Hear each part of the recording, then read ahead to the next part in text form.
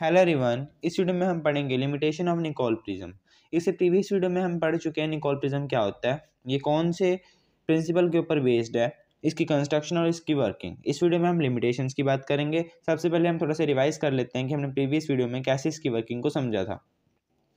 ये आपका कोई निकोल प्रिज्म है A dash B C D dash ये आपकी कोई सोर्स ऑफ़ लाइट है जो इस निकोल प्रिज्म के इस फेस के ऊपर फॉल कर रही है, ठीक है? अब देखिए, जब ये रे ऑफ़ लाइट इस निकोल प्रिज्म के अंदर एंटर करती है तो ये दो रेज में स्प्लिट हो जाती है। एक रे आपकी ई रे होती है, एक आपकी ओ रे होती है। ई रे तो इस कनेडा बाल्सम की जो लेयर है, इसे पास कर जाती है, ठीक है? और जो ये ओ रे है, ये इस कनेडा बाल्सम की जो फ़िल्म है, जहाँ कनेडा बाल्सम की जो लेयर है, इससे टोटल इंटरनल रिफ्लेक्शन के कारण वापस रिफ्लेक्ट करती है। ठीक है? जिसके कारण हमें सिर्फ़ यहाँ ओ रे ही मिलती है, जो इस प्रिज्म में से पास हो जाती है, जो कि प्लेन पोलराइज होती है। तो इस तरह इसने एक अनपोलराइज लाइट को प्लेन पोलराइज लाइट में कन्वर्ट कर दिया निकोल प्रिज्म ने, ठीक है? इसके लिमिटेशंस क्या होती हैं? देखिए, आपको इतना तो पता है कि जो ये ओ रे है, जो ये ओ रे है, ठीक है?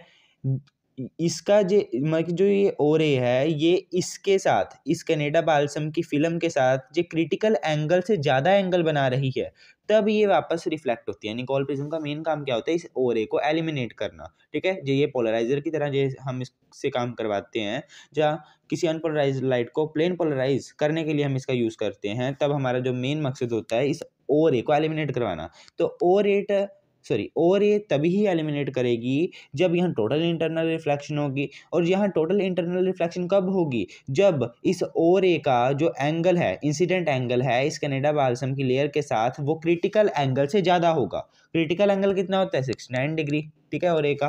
तो और ए का जो क्रिटिकल एंगल है मतलब जो यहाँ जो ये एंगल बनाएगी, वो सिक्सटी नाइन से ज़्यादा होना चाहिए।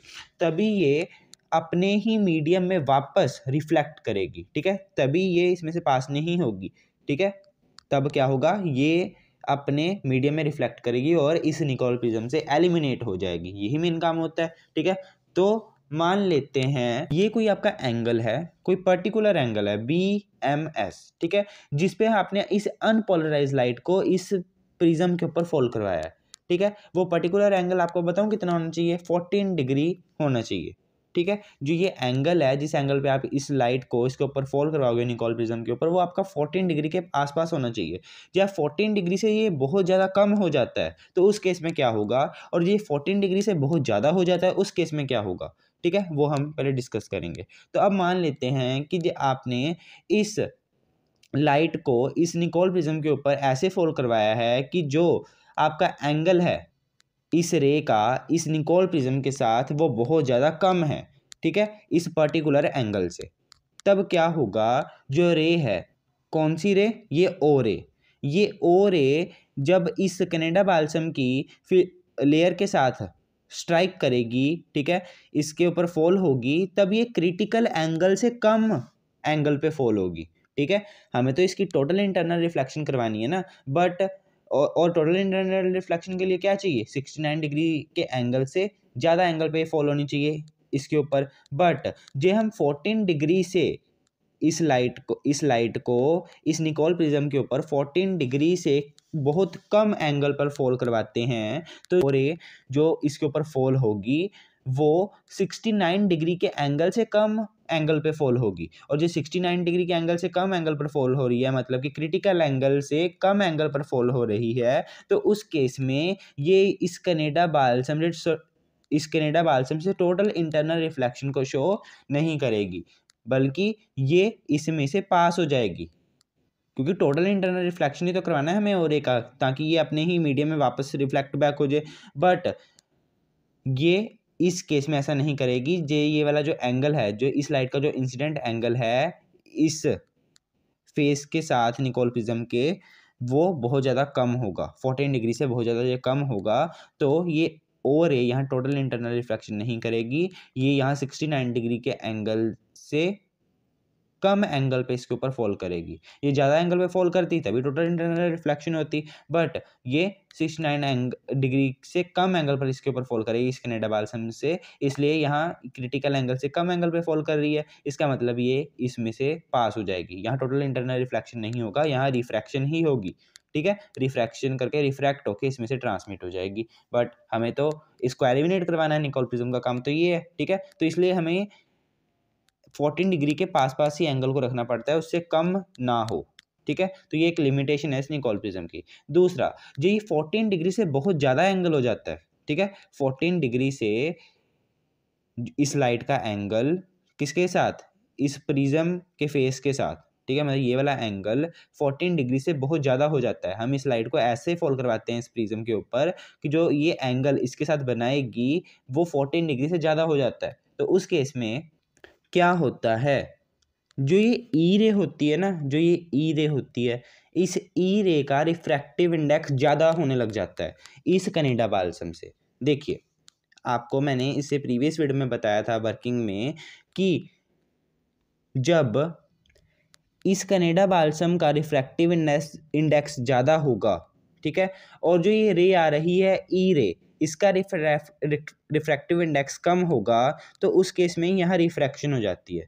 ठीक है? मतलब इसका मतलब क्या है कि जो ये कनेडा बालसम है, ये डेंसर मीडियम की तरह एक्ट करेगा और जो ये ई रे है, ये रेयर मीडियम की तरह एक्ट करेगी। और जब रे रेयर मीडियम से डेंसर मीडियम में जाती है तो वहाँ जो टोटल इंटरनल रिफ्लेक्शन है, वो नहीं होता। टोटल इंटरनल रिफ्लेक्शन होने के लिए क्या ज़रूरी है कि जो आपकी रे, वो डेंसर मीडियम से रेयर मीडियम की तरफ़ आनी चाहिए।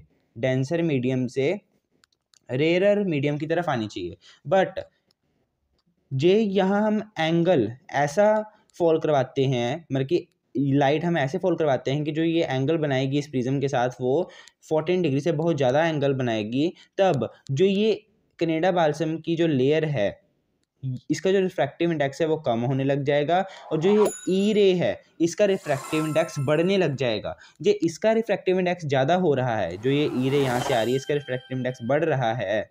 और ये कनेडा बैल्सम का तो चलो फिक्सड ही रहेगा वन पॉइंट फाइव फाइव तो मतलब कि हम ये भी कह सकते हैं कि ई रे से ये कम होता जाएगा जो ये ई रे का बढ़ रहा है तो, तो इसका मतलब रे कहाँ से कहाँ जा रही है? डेंसर मीडियम से रेयर मीडियम में क्योंकि ई रे का रिफ्रैक्टिव इंडेक्स बढ़ रहा है ठीक है? और इसका तो कम ही हो जाएगा इसलिए ये डेंसर मीडियम से रेयर मीडियम में जा रही है। जो आप ये भी कह सकते हो कि जो इसका रिफ्रैक्टिव इंडेक्स है, वो ओर ए के जितना ही होता जा रहा है, क्योंकि ओर ए का जो रिफ्रैक्टिव इंडेक्स था, वो क्या था? वो इस कनेडा बालसम की फ़िल्म से ज़्यादा था। ठीक है? जिसके कारण यहाँ टोटल इंटरनल रिफ्लेक्शन हुई, क्योंकि डेंसर मीडियम से रेयर मीडियम में और गई, ठीक है? जिसके कारण टोटल इंटरनल रिफ्लेक्शन होगी, ठीक है? जबकि जो ई रे थी पहले, उसका रिफ्रैक्टिव इंडेक्स क्या था? कम था कनेडा बैल्सम का ज़्यादा था, इसलिए रेयर मीडियम से डेंसर मीडियम में जा रही थी और रेयर से जब डेंसर मीडियम में लाइट जाती है, तब टोटल इंटरनल रिफ्लेक्शन नहीं होती, ठीक है? इसलिए ई रे ट्रांसमिट होगी थी उसकी टोटल इंटरनल रिफ्लेक्शन नहीं हुई थी। बट जे हम यहाँ एंगल ऐसा लेते हैं, हम कि इस लाइट को अनपोलराइज लाइट को, इस निकोल प्रिज्म के ऊपर ऐसे फॉल करवाते हैं कि जो ये एंगल है, ये फोर्टीन डिग्री से ज़्यादा है तो उस केस में जो ये ई रे है इसका रिफ्रैक्टिव इंडेक्स बढ़ जाएगा। ठीक है? कनेडा बालसम से भी ज़्यादा हो जाएगा, जहाँ आप कह सकते हो और ए के इक्वल आने लग जाएगा। जो, ये और ए के इक्वल आ रहा है मतलब कि कनेडा बालसम से ज़्यादा हो रहा है, तब हम कहेंगे कि जो ये रे है, ये डेंसर मीडियम से रेयर में जा रही है। ठीक है? क्योंकि ई रे का जो रिफ्रैक्टिव इंडेक्स है, वो बढ़ गया है। ठीक है? जिसके कारण यहाँ क्या हो जाएगा? ई रे का भी टोटल इंटरनल रिफ्लेक्शन हो जाएगा और वो यहाँ से बैक रिफ्लेक्ट कर जाएगी। अब इसमें से पास नहीं होगी, वो बैक रिफ्लेक्ट कर जाएगी। ठीक है? जिसके कारण हमें कोई यहाँ लाइट दिखेगी ही नहीं, क्योंकि ओरे भी यहाँ से बैक रिफ्लेक्ट करगी। तो no light will emerge from the Nicol prism Nicol prism से कोई भी लाइट नहीं निकलेगी। ठीक है? तो इसलिए हमें जो ये एंगल होता है ना लाइट का निकोल प्रिज्म के ऊपर जो हम जो हम लाइट फॉल करवा रहे हैं, उसका जो एंगल हमें रखना चाहिए फोर्टीन डिग्री पे रखना चाहिए। ठीक है? जी आप ऐसे लाइट को फॉल करवा रहे हो तो ये फोर्टीन डिग्री पे आपको फॉल करवाना है। ये फोर्टीन डिग्री एंगल होना चाहिए, ठीक है? जब मान लो दोनों तरफ़ से लाइट करवा रहे हो तो ये टोटल जो एंगल बन जाएगा वो कितना होना चाहिए? ट्वेंटी एट डिग्री का होना चाहिए, ठीक है? जैसे बहुत ज़्यादा हो जाता है तो उस केस में क्या होगा? जो ये ई रे है, ये इसमें से जो है पास नहीं करेगी। और जो ये एंगल बहुत ज़्यादा कम हो जाता है तो जो ये ओ रे है, ये इसमें से पास कर जाएगी। तो हमें तो और ए को एलिमिनेट कराना था ना, पर एंगल कम होने के कारण यहाँ जो और ए है वो भी इसमें से पास हो जाएगी। तो फिर इस निकोल प्रिज्म का क्या ही काम है, ठीक है? जो ये ए एलिमिनेट ही नहीं हो रही तो। तो ये लिमिटेशन होती हैं किसकी? निकोल प्रिज्म की, कि ज़्यादा एंगल पे जो हो जाती है फॉल तब हमें क्या मिलता है? हमें कोई लाइट नहीं मिलती। और जो बहुत ज़्यादा कम एंगल पे फॉल हो जाती है ये लाइट एस सोर्स से जो आ रही है तो हमें दोनों ही रेज मिल जाती हैं ओ रे भी और ई रे भी ठीक है? बट हमें सिर्फ़ ई रे चाहिए होती है। तो ये लिमिटेशंस थी। अब हम बात करते हैं निकोल प्रिज्म के यूज़ की। जो मैंने आपको समझाया है, ठीक है? वही मैंने इन पैराग्राफ्स में लिखा है। ठीक है? इन दोनों पैराग्राफ्स में। तो आप यहाँ से नोट कर सकते हो। ठीक है? फ़र्स्ट पैराग्राफ में मैंने वो बताया कि जब एंगल बहुत ज़्यादा क्या हो जाएगा? कम हो जाएगा। ठीक है? और जब एंगल बहुत ज़्यादा ज़्यादा हो जाएगा, वो मैंने सेकंड में बताया। नेक्स्ट हम बात करते हैं यूजेस ऑफ़ निकोल प्रिज्म तो ये तो आपने डेफिनेशन में पढ़ रखा है कि जो निकोल प्रिज्म है, उसको हम पोलराइज़र और एनालाइज़र की तरह यूज़ करते हैं, ठीक है? पोलराइज़र का मतलब जो लाइट को किसमें कन्वर्ट कर देता है? प्लेन पोलराइज लाइट में। अनपोलराइज लाइट को प्लेन पोलराइज में कन्वर्ट कर देता है और एनालाइजर वो होता है जो पोलराइज लाइट को ये देखता है कि वो पोलराइज हो चुकी है या नहीं हो चुकी, ठीक है? तो it is use polarise and analyse the light it is use to polarise and analyse the light इसलिए इसको हम पोलराइजर भी कहते हैं और एनालाइजर भी कहते हैं। ठीक है? ये कैसे पोलराइज करता है? कैसे एनालाइज करता है? तो वो हम देखते हैं। पोलराइज तो आपने देख लिया कि कैसे लाइट को करता है। ठीक है? वर्किंग में हमने यही देखा है कि लाइट कैसे पोलराइज होती है।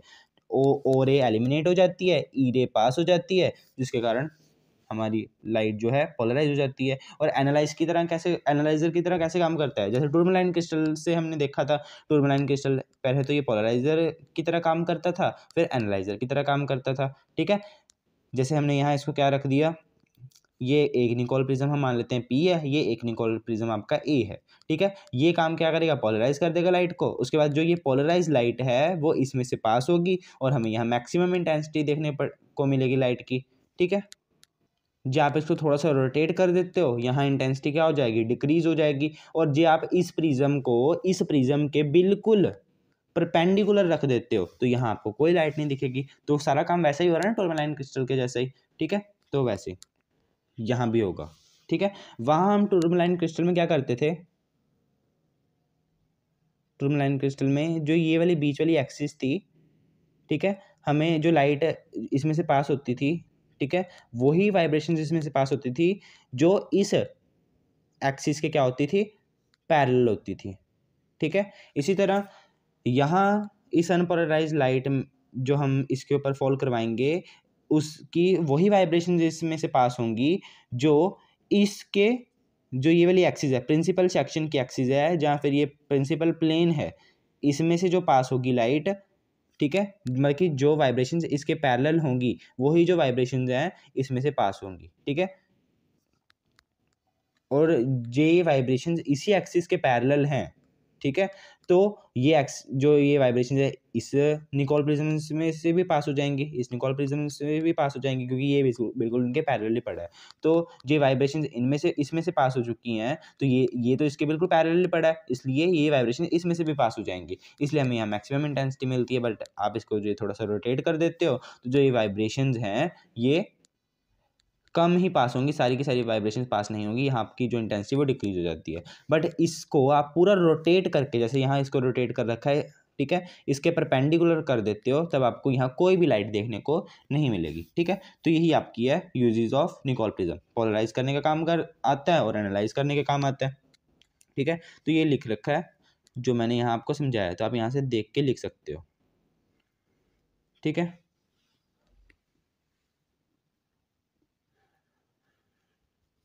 तो आप ये लिख सकते हो। इसे नेक्स्ट वीडियो में हम पढ़ेंगे नेगेटिव एंड पॉजिटिव क्रिस्टल्स के बारे में कि वो क्या होते हैं, ठीक है?